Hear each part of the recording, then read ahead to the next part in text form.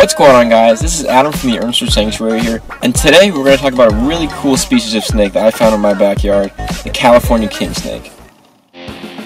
Ever since I was a little boy, I've been passionate about saving and educating people about our wildlife. A sparkle was lit in my eye by the late great Steve Irwin.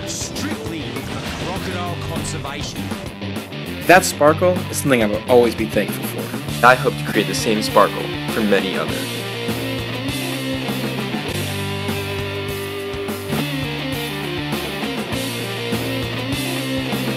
You're watching the Ernster Sanctuary. Alright guys, so this snake is not not really common around my area, so I was pretty surprised to find him. Um, the other day my dad told me to come outside, he saw something, and so, you know, I went out there and this is what I saw. In the past, around my house, I've found, you know, ringneck snakes, garter snakes, stuff like that, um, Southern Pacific rattlesnakes, um, but, you know, never a California king snake, so this is pretty rare find for me. I'm pretty excited about this little guy. Um, as you can see, this guy's a beautiful black and white pattern on him. If I can get him to turn around here, I can show you his belly, which is really cool too. There you go. Hopefully you can see that. This is what they look like naturally occurring in the wild. You know, it's not a morph or anything. It might seem like that because you got these gorgeous bands and everything, but just a really pretty snake in general. These guys are called king snakes because they actually eat other snakes in the wild. That's their main food source, um, as well as other little lizards and little frogs as they can find them. But, you know, these guys will take down rattlesnakes, any sort of rattlesnakes around here. Really good rattlesnake hunters. Any of the ribbon snakes or uh, garter snakes or ring ringneck snakes around here. These guys will have a go at them.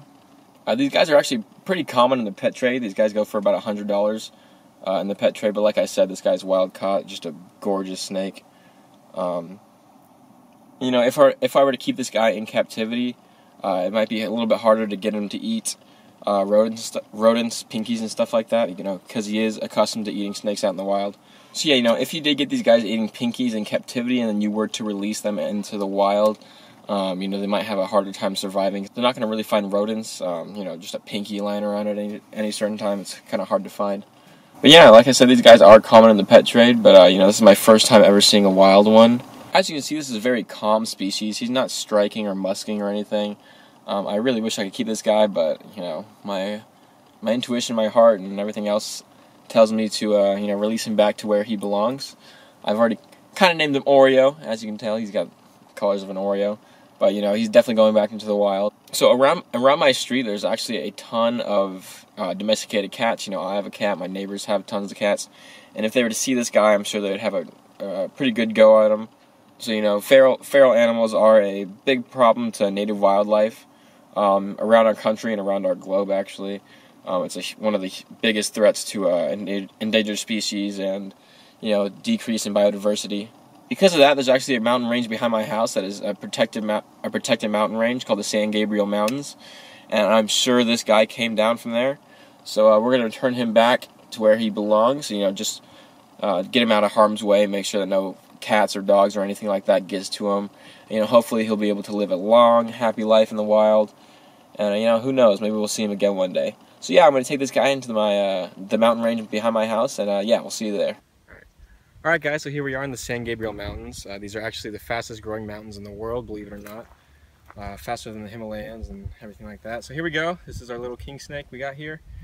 Um, you know, this environment is perfect for him. You can find little snakes and lizards, uh, you know, anything else around here, which is perfect. So yeah, we're just gonna let him go. Um, this is natural habitat. There's no, he's not an invasive species or anything. Here you go, little dude. We'll hopefully see you in a few years. When you're nice and big. I'll find a lizard. There you go find a lizard to munch on. He doesn't want to go. I know, he, he loves me. See you later, dude. Find him in there. So yeah, it's perfect habitat for him. He's got coverage. Uh, lots of food to eat around here. So guys, thank you for watching, and uh, we'll see you in the next one.